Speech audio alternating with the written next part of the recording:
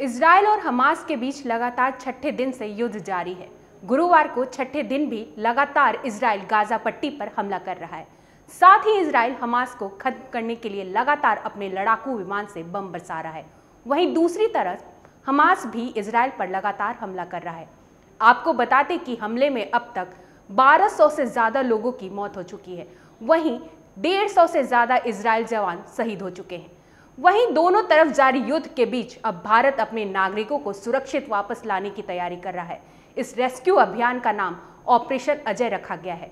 इस अभियान की जानकारी विदेश मंत्री एस जयशंकर ने ट्वीट करके दी है, जिसमें लिखा है कि इसराइल से जिन नागरिकों को वापस आना हो, उनकी सुविधा के लिए भारत सरकार ऑपरेशन अजय लॉन्च कर रही है।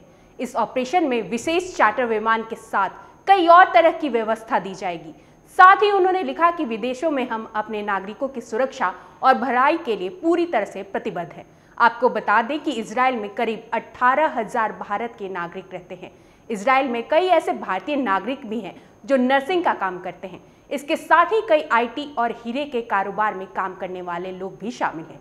इससे पहले भी भारत सरकार ने यूक्रेन और रूस के युद्ध में अपने भारतीय नागरिकों को निकालने के लिए ऑपरेशन गंगा चलाया था। ऑपरेशन गंगा को 21वीं सदी का सबसे बड़ा ऑपरेशन कहा जाता है।